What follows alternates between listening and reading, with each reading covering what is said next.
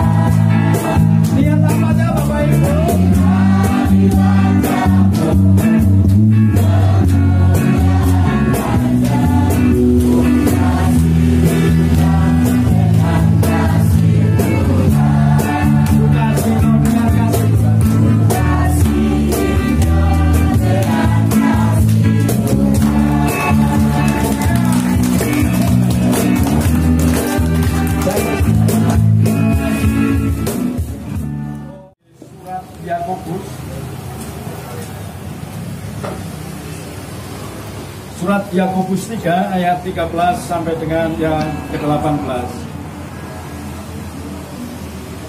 Surat Yakobus 3 ayat 13 sampai dengan 18. Siapakah di antara kamu yang bijak dan berbudi? Baiklah ia dengan cara hidup yang baik menyatakan perbuatannya oleh hikmat yang lahir dari kelemah lembutan. Jika kamu menaruh perasaan iri hati dan kamu pentingkan diri sendiri, janganlah kamu memegahkan diri dan janganlah berdusta melawan kebenaran.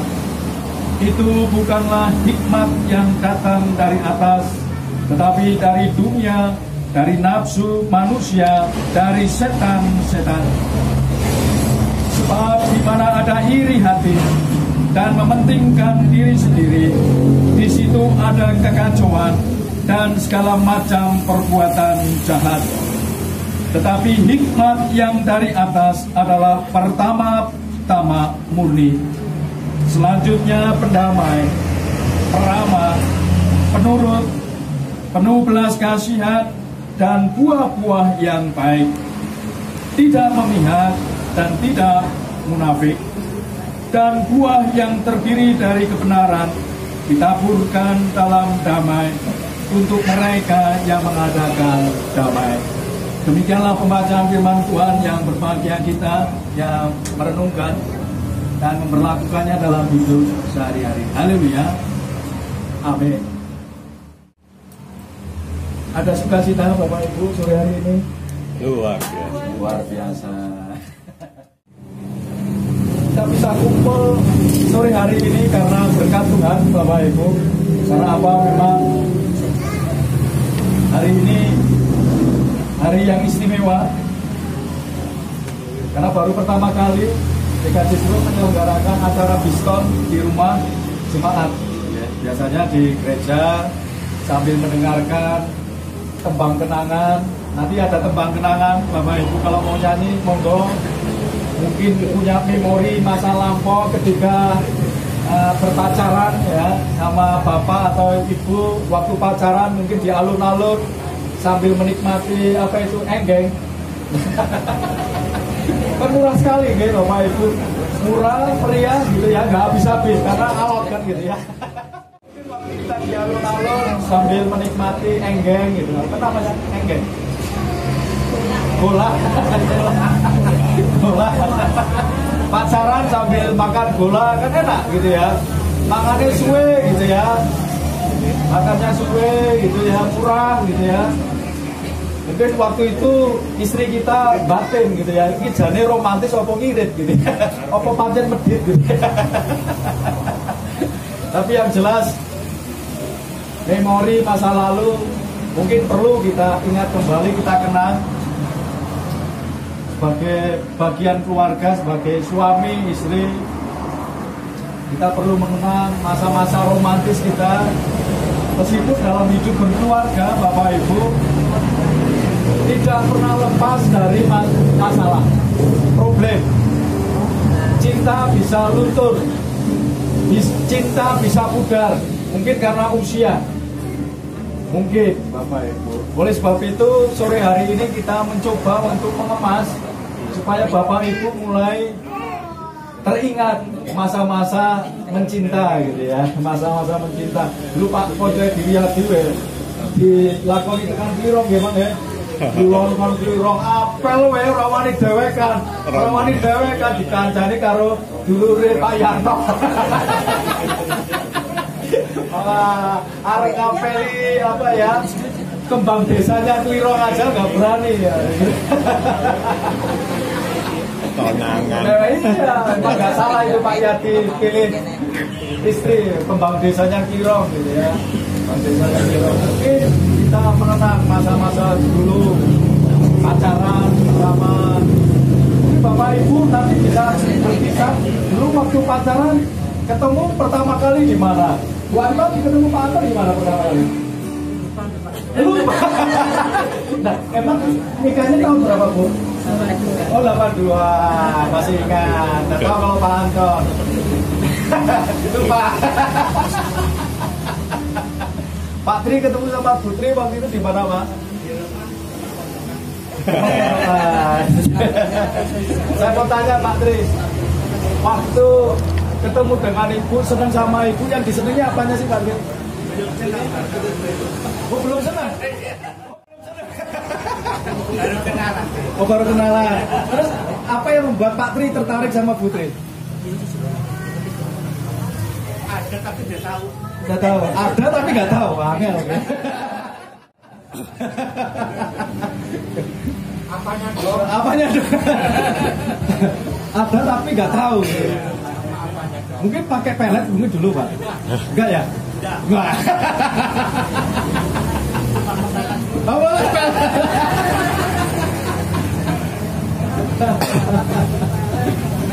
Mbak Titis, dulu pacaran sama Pak Yuli gimana?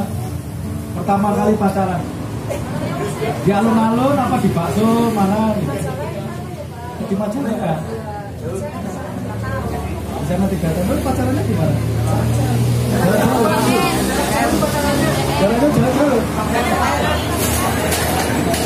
Dulu kok bisa seneng sama Pak Yuli apa aja sih buat Mbak Titin seneng sama Pak Yuli? Hah?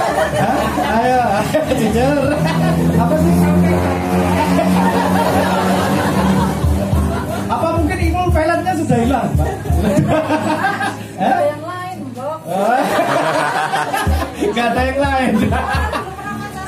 Oh, cinta pertama dulu. Cinta pertama Mbak Titi. Oh, berarti cinta pacar pertama. Pak Yuli cinta pertama Pak sudah ke sekian kali. kelima Oh, pertama, wah. jadi kelima Waduh. Dan jenengan ketemu sama Bu Ani sing disenangi apa nih sih Dan? Eh? Orangnya? Ya iyalah Dan masa Apa sih Dan yang membuat Anda tertarik sama istri? Kecantikannya. Orang itu dulu Bu Ani dulu tertarik sama Pak Ismaili apa sih? Oh dulu masih kurus, fotonya masih kurus dulu. Apa?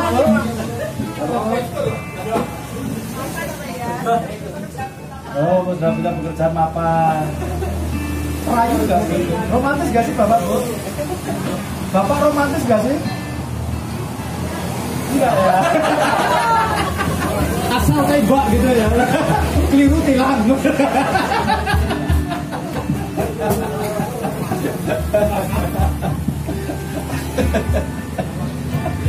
Saya mau tanya Pak Bowo. Pak Bowo, dulu seneng sama Bu Bowo sih apanya sih Pak? Yang disenangi? Bu Bowo dulu cantik ya? Yang senang sana. Oh,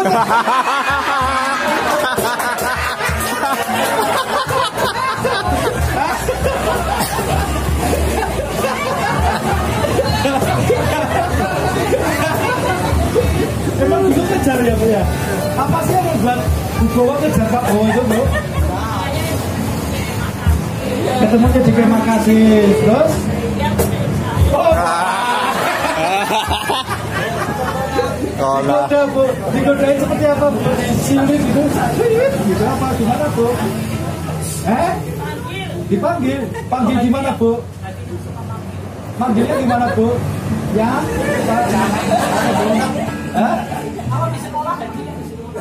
Loh, apa ya?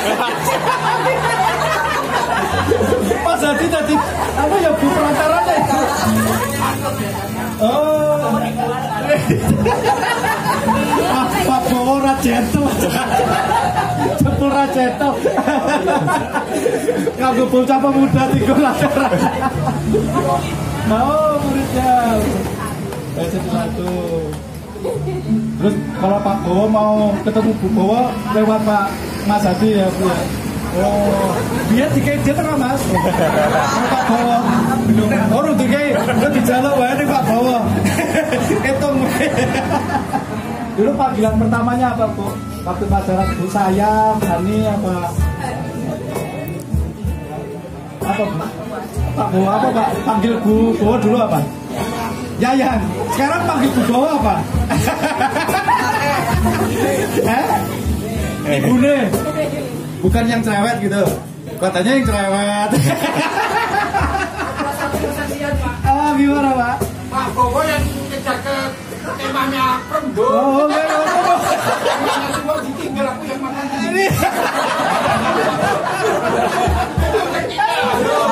Oh balik pak Bo